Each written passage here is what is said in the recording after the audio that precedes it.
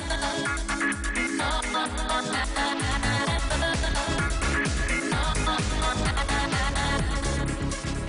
Michigan and a lot of other states across the U.S. are seeing big increases in curbside recycling since so many of us, of course, are spending more time at home and even working from home to help prevent the spread of COVID-19. Now, at the same time, the Michigan Department of Energy and Great Lakes, better known as EGLE, is reporting common mistakes that are increasingly making their way into recycling bins and causing lots of problems within that recycling system. Lauren Westerman is the Resource Recovery Specialist at Kent County Department of Public Works. Thanks for joining us today, Lauren.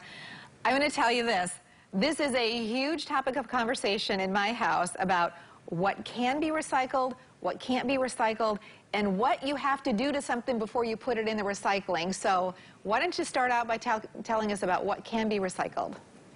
Yeah, definitely. There are, at Kent County, basically five main materials that you can recycle. Paper and cardboard, plastics, metal, glass, and cartons, like your coffee creamer cartons and juice boxes.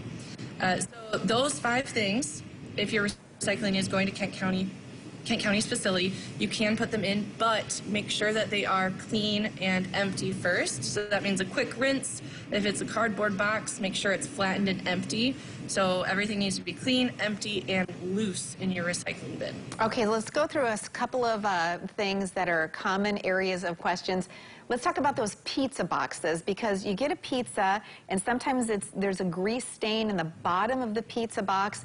Are, is that recyclable? That's a super common question, and the answer is yes and no. The pizza box, if it has minimal to zero grease, you can flatten it and put the whole thing in, but typically there's lots of grease, so a trick is rip it in half, recycle the top part, throw away the bottom part that has all the grease on it. Okay, so when you get to the bottom of, say, a laundry detergent jug, and you know that there's got to be residue of the laundry detergent inside the jug, do you have to clean that out as well? One or two rinses is usually going to be enough. Uh, for me, I will typically run it under my faucet put the cap on, and literally just like two seconds of water added in there. Shake it around, squeeze out the suds, one more time, squeeze out the suds. That's going to be enough that it's clean enough for our facility.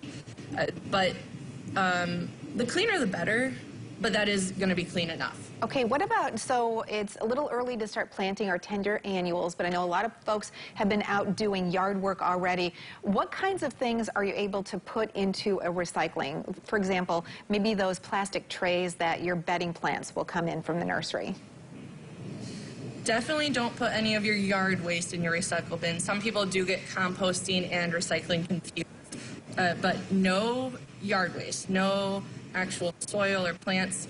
The plant pots, those are usually a recyclable plastic. You can rinse out the dirt, make sure that on the bottom there is the recycling triangle and a number one through seven. Usually there'll be a six. So make sure that that is on the plant pot before you put it in the recycle bin.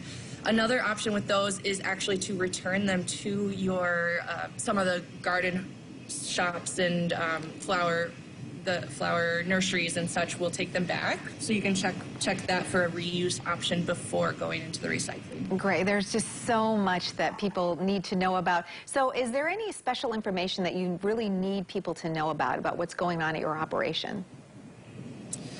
Well, uh, besides making sure you're recycling the right things, making sure they're clean, empty, um, loose in your bins, uh, we are working on a construction project that we have just had to temporarily close our drop-off facility. We had a, um, a residential drop-off outside in the back parking lot at the recycling center.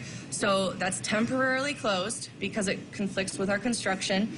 And so is the electronics recycling option there. But we have listed on our website a lot of alternatives. Curbside recycling is still going. You can sign up with the 23 various companies that work at, that deliver to our facility if you don't already have curbside recycling. And then for those alternative drop-off options, you can visit our website, reimaginetrash.org.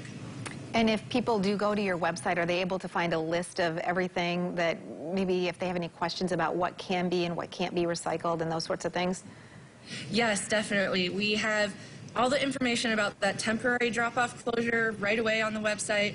Then we have a search bar, so if you have unusual items, you can type those in, and we try to provide the resources for that, as well as then you can get to our our um, common recycling guide, all the items that we want to see in the recycling.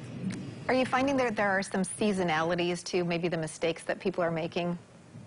Yes, the common seasonalities coming into spring and summer, we're, well, we often see hoses, other tanglers like that, the dirty flower pots. We don't want to see these things, but that's just kind of what we see. In the summer, we'll see an increase in all of the number one plastics, like your water bottles. That's a good, uh, a good thing to see, but um, that's just the seasonality of recycling. So keep anything that is long and stringy out of your recycling bin. Uh, spring-wise, also you'll see a lot of the plastic wrap that comes around all those garden and flower supplies. Um, no grocery bags; those are also tanglers. And then no hazardous materials. A lot of people are doing spring cleaning in their garages, so make sure that you're not putting anything flammable, anything. Um, uh, explosive chemicals, none of that in there either. Really important stuff. And once again, how can people get in touch with you to find out all of the information that they need to know? We have uh, either on our website, you can go to the contact us button, or we have an email at recycle at kentcountymi.gov. Uh, so you can reach us either of those places. Fantastic. Well, thanks, Lauren. Thanks for stopping by 8 West today. Important information. Yeah, you're welcome. Thanks for having me. And stay right there. More of 8 West when we come back. Don't go away.